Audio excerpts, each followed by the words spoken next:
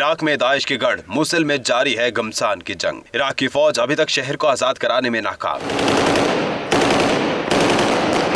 Daesh Iraqi फौज पर हमलों, नकलो हरकत देखने के लिए ड्रोन इस्तेमाल कर रही है। ये दाइश के दो शिदत पसंद हैं, जिन्होंने छोड़ा ऐसा ही ड्रोन। वागुजार कराए गए इलाकों से दस्तावेजात मिली हैं, जिनसे पता चला है कि दाइश ड्रोन टेक्नोलॉजी से है लेस। जंगजू ड्रोन उड़ाने के भी है माहिर। चार सफात पर मुश्तमिल दस्तावेज़ के मुताबिक ड्रोन जासूसी, अस्करी तरबियत, बम धमाकों के लिए इस्तेमाल किए जा रहे हैं। इतिहादी फौज के मुताबिक दाइश के अस्सी ड्रोन हमलों में बारह फौजी हलाक और पचास जख्मी हो चुके